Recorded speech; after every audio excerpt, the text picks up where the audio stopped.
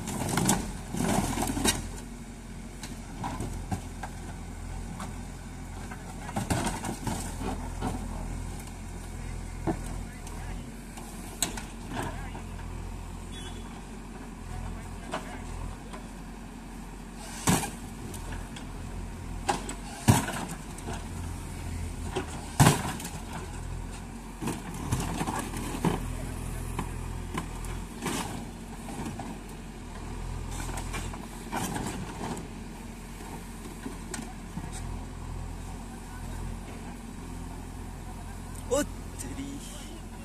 ਚਾਚਾ ਧਿਆਨ ਨਾਲ। ਲੱਗੀ ਨਾ ਕਿਤੇ ਸਾਈਡ